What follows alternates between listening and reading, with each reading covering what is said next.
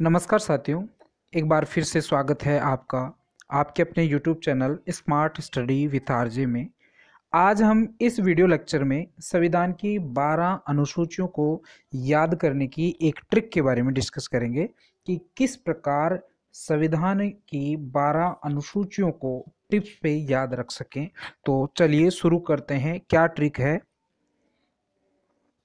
इसकी ट्रिक जो है, वो है एस एस और ऐसी जनसभा से बदला पंचनगर। अर्थात ये जो एक सेंटेंस है, उसको आपको याद करना पड़ेगा और इसके आधार पे आपकी बारह अनुसूचियाँ, जो मूल संविधान में आठ ही अनुसूचियाँ हैं, अपन जानते हैं। बाद में उसमें चार अनुसूचियाँ समय समय पर जोड़ी गई और आज वर्तमान में यदि संविधान की बात करें तो बारह अनुसूचियाँ हैं। उन्हीं बारह अनुसूचियों को याद करने की इसमें टेक्निक बताई गई है। तो ऐसे मतलब है स्टेट एस से मतलब सैलरी ओ से ओद आर से रिप्रेजेंटेशन और इसी प्रकार इसकी सारी जो ट्रिक्स हैं कीवर्ड्स हैं, उनको अपन याद करते हैं। तो पहला जो ऐसा शब्द है, उसमें पहला स्टेट है, अर्थात पहली अनुसूची में उनतीस राज्यों और सात केंद्र शासित प्रदेशों के बारे में डिस्कस किया गया है। ओके इसके बाद में जो दूसरी अनुसूची है उसमें है सैलरी, वेतन के बारे में। पदाधिकारियों के वेतन और भत्ते का उल्लेख दूसरी अनुसूची में दिया गया है। वर्तमान में अपने को पता है कि उनतीस राज्य और सात केंद्र शासित प्रदेश हैं तो ये उनतीस राज्य और सात केंद्र शासित प्रदेश जो हैं, उनका वर्णन पहली अनुसूची में है। दूसरी एस मतलब सैलरी से है, अर्थात इस दूसरी अनुसूची में पदाधिकारियों के वेतन भत्तों का उल्लेख है। अर्थात राष्ट्रपति को कितना वेतन मिलेगा, प्रधानमंत्री को कितना मिलेगा, मंत्रियों को कितना वेतन मिलेगा?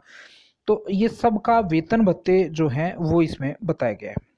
तीसरी तीसरी अनुसूची है, उस तीसरी अनुसूची में पद ग्रहण के समय ली जाने वाली शपथ का उल्लेख है। अर्थात राष्ट्रपति यदि पद ग्रहण करता है तो किस प्रोफार्मा में शपथ ग्रहण करेगा?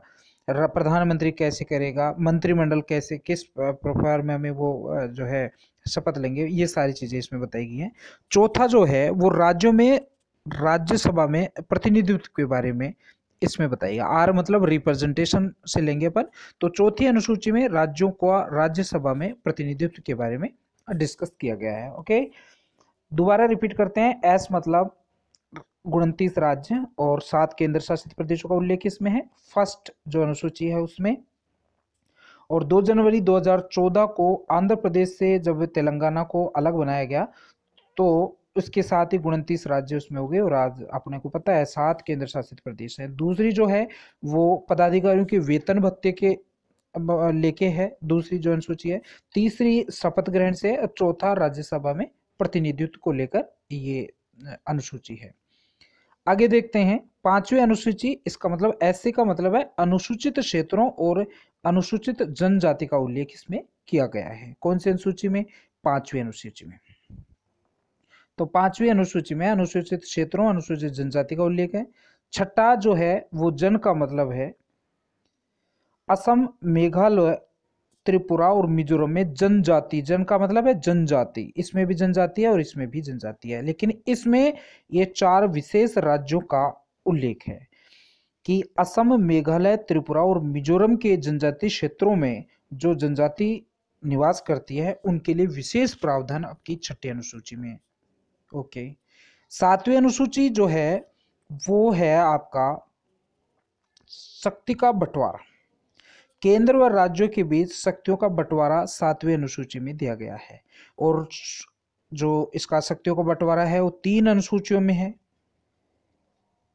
सूची है, समवर्ती सूची, संघ सूची है, राज्य सूची है और समवर्ती सूची है। संघ सूची में केंद्र सरकार के नियमों के जो विषय हैं, वो बताए गए हैं।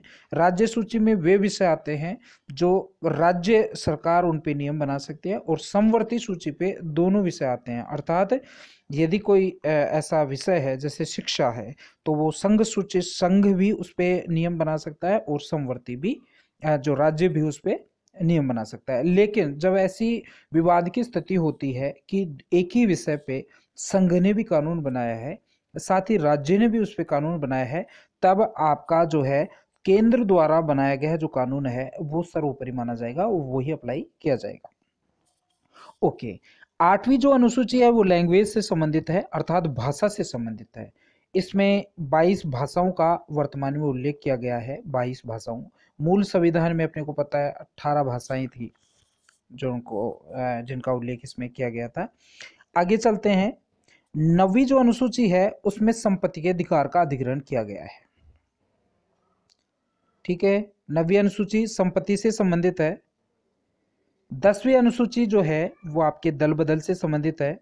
अर्थात कोई भी दल एक विशेष प्रावधान के बिना किसी दूसरे को दल का सदस्य दूसरे दल में नहीं जा सकता। पहले ऐसा होता रहा था, बाद में ये अनुसूची नंबर दस डाल के इसको दल बदल के प्रावधान को कठोर किया गया है ताकि लोकतांत्रिक व्यवस्थाओं को सुचारू रूप से चलाया जा सके। ग्यारहवीं अनुसूची जो है, वो पंचायती राज संस्थाओं का उल्लेख इसमें है। पंचायती राज संस्था में ग्रामीण शासन से संबंधित जो है, वो ग्यारहवीं अनुसूची में दिया गया है और बारहवीं अनुसूची शहरी क्षेत्रों में स्वशासन जो संस्थाओं का नगर निकायों से संबंधित है नगर पालिका है, नगर निगम है, ये सारा उल्लेख बारहवीं अनुसूची में है। ग्यारहवीं अनुसूची में पंचायती राज संस्थाओं का वर्णन है, दसवीं अनुसूची दल बदल से संबंधित है, नवी अनुसूची संपत्ति के अधिकार से संबंधित है, आठवीं अनुसूची के बारे में बताया था आपने कि भाषाओं से संबंधित है। तो साथियों, इससे ये जो बारह अनुसूचियाँ हैं, वो टिप्स पे याद हो सकती हैं। एक बार पुनः इसको रिमाइंड करते हैं। पहली अनुसूची, उनतीस राज्य, सात केंद्र शासित प्रदेशों का उल्लेख है। दूसरी अनुसूची में पदाधिकारियों के वेतन भत्तों का उल्लेख किया गया है।